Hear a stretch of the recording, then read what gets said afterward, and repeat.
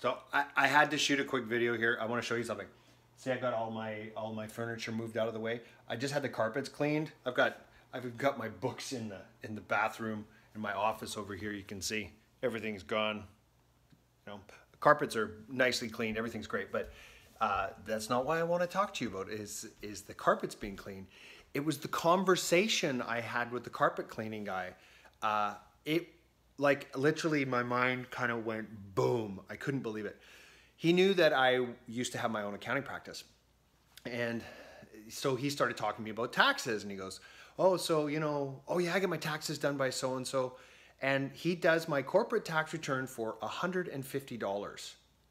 And I almost fell over. I'm like, "How in the world can you do a tax return for $150?" This is insane. And he goes, oh no, but the guy's, he's got a brilliant, brilliant business model because he gets so many clients. He gets so many clients. he's got so much business. And so I sat there and I thought about it for a second and I looked at him and I went, so I said, so how about, why don't you reduce what you're charging me for, instead of charging me $230? I mean, think about that. He, he cleaned three carpets in a small house for 230 bucks and his accountant's doing his corporate tax return for 150. But I said to him, why don't you why don't you drop your price from 230 and just charge me 50 and be able to do a lot more people's uh, carpets? And he just looked at me and he went, uh, and I went, yeah. So how many tax returns do you think your accountant has to go through to actually make a living? And he looks at me again. He goes, uh.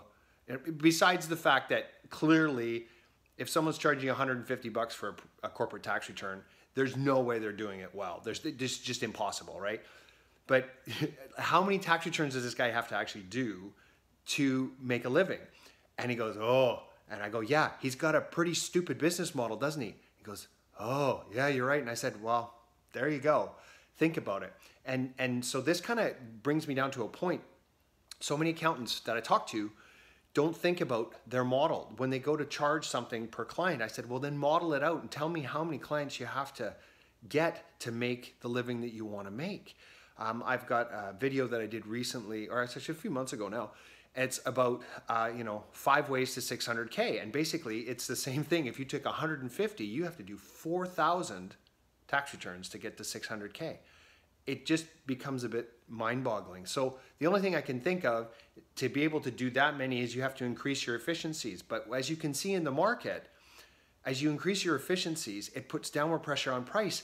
And so clearly this guy can do he must be doing a ton of personal or a ton of corporate tax returns at 150 bucks a pop to be able to make any money. So as again, when I'm working with my other accounting firm clients, it's like, you know, stop focusing on efficiencies because you're just going to cannibalize your prices. You're going to have to keep chasing and make more, do more tax returns for lower, lower price. And we see it happening all over in the entire industry that this is happening. We're getting downward pressure on prices because everybody's focusing on the latest and greatest uh, efficiency model and it's it's going to cannibalize the the the market. So you need to be focusing on effectiveness, effectiveness, and giving your clients what they really want, not you know.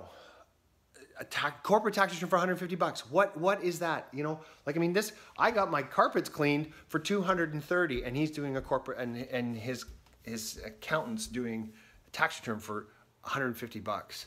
Anyways, I still can't get in here because my carpets are still wet.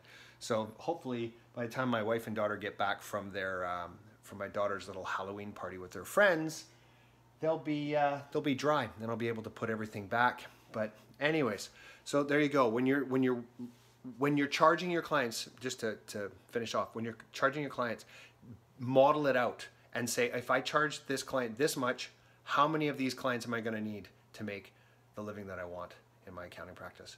So anyways, I'm Erik Solbakken, and wherever you're watching this, please scroll down, leave me a comment, and stay tuned for more success tips to come.